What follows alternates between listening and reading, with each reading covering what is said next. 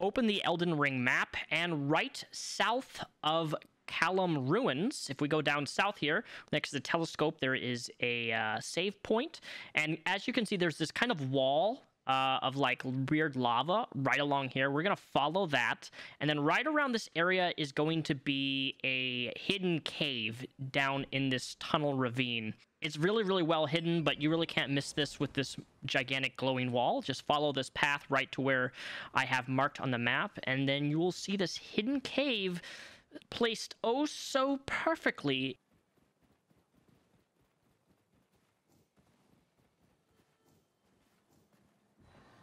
I would definitely recommend trying to use a horse because I did this the first time and I died like an idiot.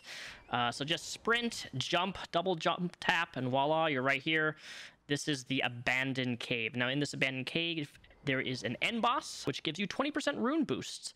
Uh, I would highly recommend using, if you have incantations, I'd recommend using the Flame Cleanse Me. Now, as we head into the tunnel, we're going to discover a save point, but most of all, you're going to see exploding kind of like gas chambers of rot. Now, the thing about rot uh, is it stacks pretty fast and does a lot of damage compared to poison, um, but when you drop down here, make sure that you do not roll.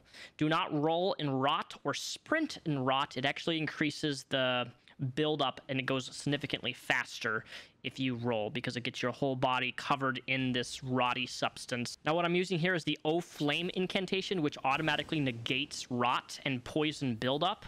If you have this, if you're playing a sorcerer or in my case a prophet, um, I highly suggest this incantation as it's really helpful fighting against poison enemies or enemies that have rot buildup um, because quite frankly, this stuff really screws with your character really, really bad, especially because the boss also um, gives a bunch of rot, and it's just very helpful to have um, to instantly take away that debuff because it just does a lot of damage very quickly. Uh, try to avoid the rot as best you can. Just do this little jump, follow this path that I'm doing right here. It's fairly straightforward. Um, the boss I did have a trouble with a few times fighting the first time, but instantly when you get here, just go instantly to the right, drop down. There's an enemy. Just ignore him. Just run down this tunnel. Uh, and don't be an idiot like me and die to rats, because, you know, I'm just so good at the game that even at a level 100, uh, ignore this dude. Just run by him. Don't Be like me and try to fight rats in a small confined area, and then you die to rats.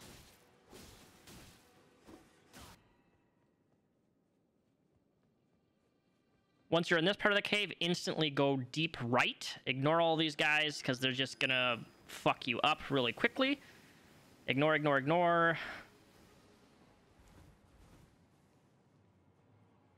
This point, make sure that you have the Flame Cleanse Me incantation because you're going to need it during this fight if you are lower level. I happen to be level 97 right now, so this shouldn't be too difficult to fight these guys in here, though I did die the first few times. Um, I would highly recommend doing a summons. I'm personally using the Demi-Human Ashes as it seems like the more targets that there are, the easier it is for um, the AI, the NPCs to attack multiple targets. So any summons you have with multiple uh, spirits I was is highly suggestible just because it makes this a lot easier.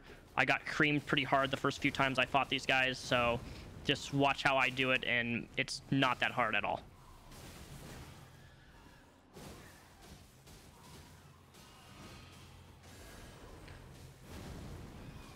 You're also going to be having a secondary guy spawn, um, which if you're doing this solo with no summons is really, really chaotic. I died about five times here already before I realized I need to summon uh, my spirits to help me with this. And then it was pretty straightforward.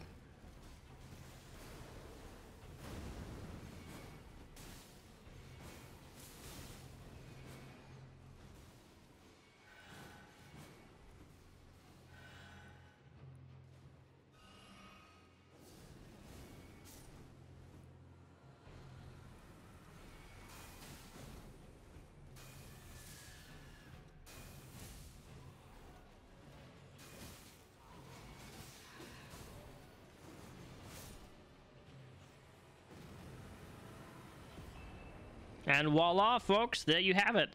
This is how you get the sacred beetle, or the gold scarab, excuse me. I don't know why I kept saying sacred. Um, but yeah,